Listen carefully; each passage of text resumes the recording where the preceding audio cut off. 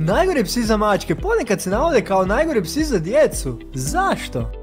Naime, ako mogu napadati mačke, mogu i djecu. Je li to istina ili zabuda? Karakteristike koje ih čine lošima za mačke su snažan lovački nagon i slabija prijateljska nastrojenost prema psima i životinjama. Prije nego krenemo s listom, zamolio bih te da podijeliš ovaj video na svojim Facebook profilu, pomoći tiglice podijeli ispod videa kako bi i tvoji prijatelji i prijateljice vidjeli posjeduju li najgoreg psa za mačke. Slijedi lista top 10 pasmina pasa koje se najgore svađu s mačkama. Na desetom mjestu liste nalazi se pasmina pasa Saluki. Drevna pasmina Saluki smatra se jednom od najstarijih pasmina pasa na svijetu. Oni su agilni, lijepi, tihi, brzi i vole pojuriti za svačime. Zašto? Kao što vrlo vjerojatno pretpostavljaš, razlog je snažan lovački nagon. Saluki psi su inteligentni, samostalni, povučeni, odani i tihi. Ovi psi su izuzetno uredni, ne laju, slabo se uinjaju i mogu biti dobri s mačkama ako odrastaju zajedno. Ipak nepoznate mačke neće biti te sreće. Na devetom mjestu liste nalazi se pasmina pasa Afganistanski hrd. Afganistanski hrd pasmina pasa je poznata kao izuzetno dostojanstvena, lijepa i neovisna pasmina. Slove kao odlični psi za život u kući, ali kakvi su s mačkama? Afganistanski hrd psi su dostojanstveni, povučeni, neovisni i sretni. Iako su u kući izuzetno mirni i dobri, vani to nije slučaj. Oni obožavaju trčati, imaju snažan lovački nagon i vole pojuriti za mačkama. Također dresura neće pomoći jer ovi psi slove kao najgori psi za dresuru. Na osmom mjestu ste nalazi se pasmina pasa patuljasti šnaucer. Patuljasti šnauceri su energični psići koji uvijek žele biti u centru pozornosti. Vlasnici ih obožavaju, ali kakva je situacija s mačkama? Patuljasti šnaucer psi su prijateljski nastrojeni, inteligentni, neustrašivi, poslušni, duhoviti i oprezni. Ovi psi imaju izraženiji nagon i često će loviti mačke zbog zabave. Što se tiče kućnih mačaka, patuljasti šnauceri će ih ili obožavati ili mrziti. S ostalim nepoznatim mačkama mislim da je nepotrebno reći što će raditi. Na sedmom mjestu ste nalazi se pasmina pasa Beagle. Odlični mali lovac Beagle također se nalazi na popisu najgorih pasa za mačke. Oni se super svažu s djecom, ali mačke i manje životinje ih ne vole. Beagle psi su prijateljski nastrojeni, energični, zaigrani, znatiželjni i odlučni. U prošlosti oni su se koristili za lov na zečeve, a danas se na svu sreću koristi kao lijepi mali psići koji su uvijek spremni na igru s obitelji. Ipak lovački nagon je ostao i vole potrčati za mačkama i manjim životinjama. Ako još uvijek nisi podijelio video s prijateljima i prijateljicama na društvenim mrežama, nadam se da hoćeš jer najgori psi za mačke tek dolaze, ali ako ti se video sviđa, pozvam te da se pretplatiš na kanal i postaneš novi ljubitelj životinja. Na šestom mjestu liste nalazi se pasmina pasa Austrovski govedarski pas. Austrovski govedarski pas je pasmina koja se koristila za čuvanje stada. Ostao im je taj instinkt i često ih se navodi kao pasmina koja nije dobra za male životinje. Zašto? Australski govedarski psi su zaštnički nastrojeni, energični, poslušni, oprezni, hrabri i odani. Ovi psi jednostavno su pregrubi za kokoš i mačke i ostale male životinje. Oni ih konstantno okupljaju i grickaju čak i u igri. Također imaju snažan lovački nagon. Dakle, čak i ako je australski govedarski pas dobro socijaliziran, mačke će ga mrziti i neće se dobro svagati. Ako nije, tada je prava noćna mora za mačke. Na petom mjestu ste nalazi se pasme pasa Jack Russell Terrier. Iako obitelji obožavaju Jack Russell Terrier psa, s mačkama generalno to nije slučaj. Zašto?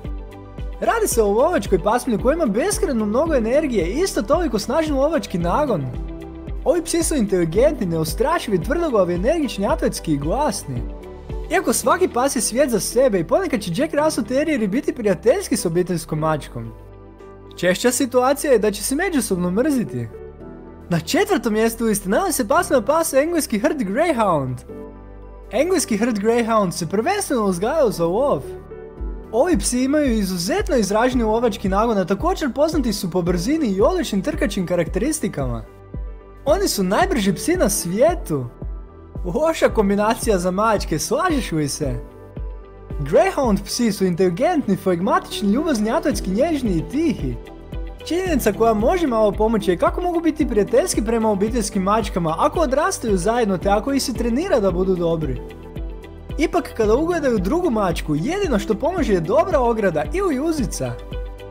Sada su jedne top 3 pasme pasa koje se najgore slažu s mačkama, pa krenimo! Na trećem mjestu liste pasmina pasa koje se najgore slažu s mačkama nalazi se Vipet. Vipet pasmina pas nastao je krajem 18. stoljeća kao lovačka pasmina.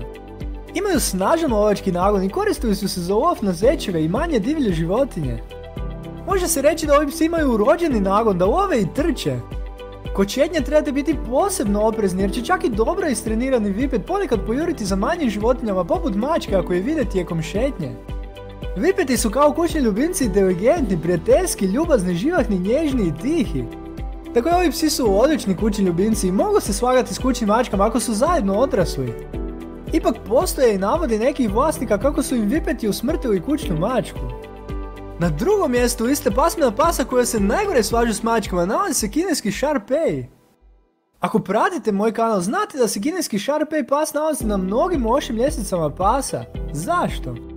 Oni imaju karakteristike koje nisu drage vlasnicima, a sudeći po ovoj listi, mačkama i drugim manjim životinjama također. Kineski Sharpei psi su zaštnički nastrojeni, neovisni, predani, oprezni i tihi. Ovi psi su izuzetno neovisni, rade što oni hoće, nisu previše prijateljski prema nikome i vole dominirati. Iako oni nemaju izraženi lovački nagon, ponekad jednostavno ne trpe mačke i počinju ih loviti. Vlasnik ovih pasa mora biti posebno asertivan i iskusan kako bi uspio pridobiti poštovanje ovog psa. U protivnome se javljaju mnogi problemi s ponašanjem. Slijede najgori psi za mačke, spremni! Psi koji se najgore svažu s mačkama su psi pasmine Vajmarski ptičar.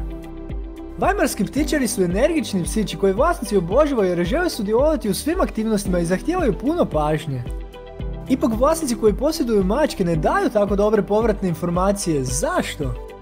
Vajmarski ptičar psi su tvrdoglavi, osjetljivi, izdržljivi, inteligentni, energični, oprezni, snažni i brzi.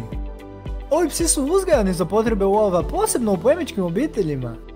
Kao lovački psi dobri su za pronalaženje, praćenje, upućivanje i lov na kopnu i moru. Imaju izuzetno izražen lovački instinkt i može se dogoditi da usmrte mačke.